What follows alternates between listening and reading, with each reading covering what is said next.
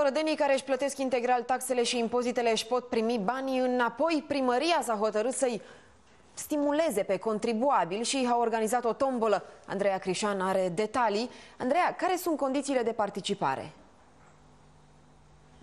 Pentru a se califica la tombola organizată de edilii locali, orădănii trebuie să-și achite integral taxele și impozitele și nu oricând, ci până la sfârșitul lunii martie. O altă condiție este că oamenii trebuie să plătească folosind doar cardul bancar. La sfârșitul perioadei de concurs, 10 dintre ei vor fi aleși prin tragere la sorți și își vor primi banii înapoi.